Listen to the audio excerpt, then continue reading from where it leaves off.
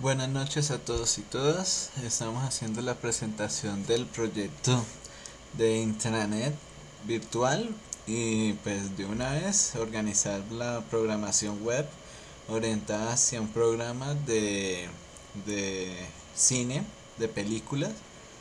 Eh, se realizó pues sobre la máquina virtual de VirtualBox. Se instalaron dos equipos XP, un servidor y se implantó una intranet con un aplicativo OneServer para que funcionaran varias eh, opciones para la empresa. Eh, pues en esencia sería lo que vamos a presentar hoy. Eh, vemos esto por ahorita. Aquí están las tres aplicativos, pero pues coloquemos algo de fondo porque esto queda como muy silencioso.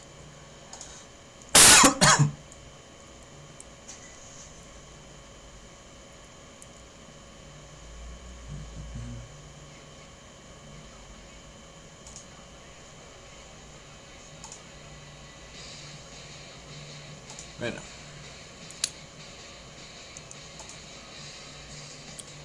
Perdonarán de pronto lo lento el equipo, pero pues el servidor está configurado casi a 2 GB de memoria RAM y los y los XP a 512, o sea que son 3 GB que me están comiendo eso en el equipo.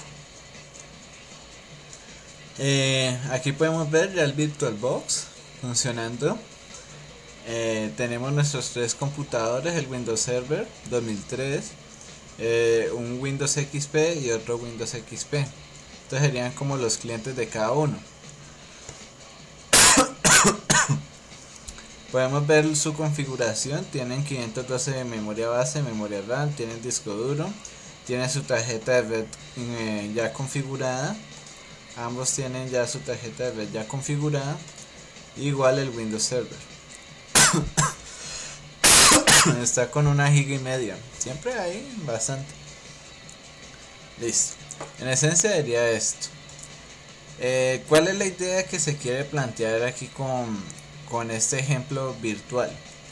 Eh, se va a trabajar sobre una empresa que va a tener tres computadores, un servidor que va a ser administrado por el encargado del, área de sistemas eh, y dos clientes que serían pues auxiliares administrativos. Obviamente cada cliente tiene su usuario para ingresar a, cada uno de sus computadores. Por lo menos aquí podemos ingresar a este usuario 1xp.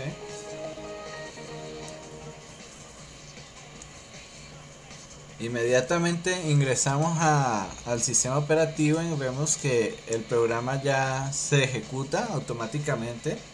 Nos pide su usuario y contraseña para poder ingresar a la intranet. Igual con el usuario 2.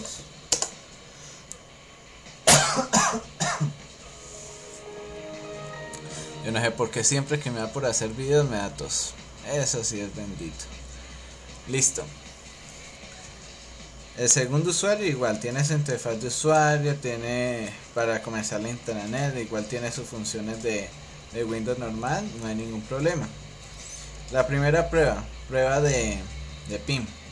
Vamos a ver aquí la configuración ipconfig para ver la dirección IP que se ha configurado en este computador igual para este. Ipconfig vemos que este está con el 103 y aquí está con el 104 vamos a hacer pin de este computador a este y este, este a ver para ver si realmente está funcionando la red y si están pasando los datos. Entonces, aquí en nuestro primer pin, él ya está haciendo el pin de aquí para acá. Y ahorita vamos a hacer el pin de allá para acá. Perfecto, o sea, ahí está funcionando como tal la red interna entre estos dos computadores. Ahorita vamos a entrar al Windows Server para ver la aplicación eh, la aplicación OneServer se instaló directamente aquí en el servidor, o sea que ninguno de los dos computadores tiene instalado el OneServer. Se instaló directamente aquí en este computador y se ha creado un acceso directo a través de la red por direccionamiento IP para que ellos puedan entrar. Vamos a ver qué se hizo. bueno, una vez ingresamos al server, él también automáticamente nos va a mostrar la pantalla para ingresar al, a intranet en donde está el aplicativo. Pero pues primero que todo vamos a hacer la prueba de PIN. Para probar que realmente aquí el IP config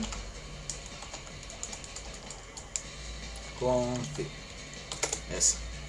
Entonces vamos a hacerle pin al de aquí al ladito. 83 203.103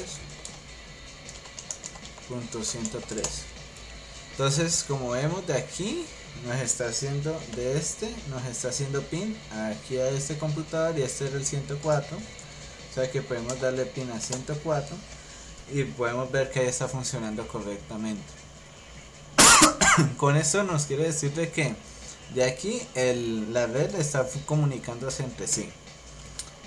Eh, aquí como podemos ver el servidor ya tiene instalada la aplicación OneServer es el único computador que tiene instalada la aplicación. Y tenemos nuestro aquí está eh, nuestro programa tipo intranet de la parte de cine y películas para una empresa. Se ha configurado el OneServer para que desde, cual, desde el direccionamiento IP de este computador estos dos los, los dos auxiliares puedan ingresar eso ha tocado configurar un poquito una parte de código, propiedades para que él pueda funcionar. Automáticamente el servidor prende, se ejecuta el One Server y muestra en cada uno de los computadores la aplicación. Bueno, en esencia viene siendo esta parte. Vamos a verlo ya en funcionamiento como tal para eh, tener una idea más o menos de cómo se hace. El usuario pues administrador en mi caso sería William 123 le doy a ingresar. Listo me ingresa la aplicación.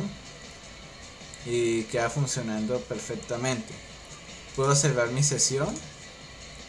Obviamente si yo trato de ingresar con otro con otros datos él me va a decir que eso es cerrado y que por favor ingrese los correctos.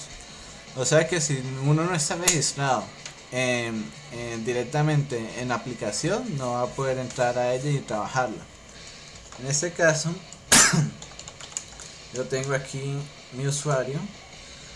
Ok. Tenemos aquí los, la ventana principal en donde está pues los diferentes módulos que podemos utilizar para ingresar clientes, para reservar películas, las de películas para ingresar, actualizar, usuarios también y el de soporte, el de soporte más que todo es eh, datos personales sobre eh, la empresa que realizó el programa, eh, donde puedes buscar soporte, el código de atención de la empresa, datos así.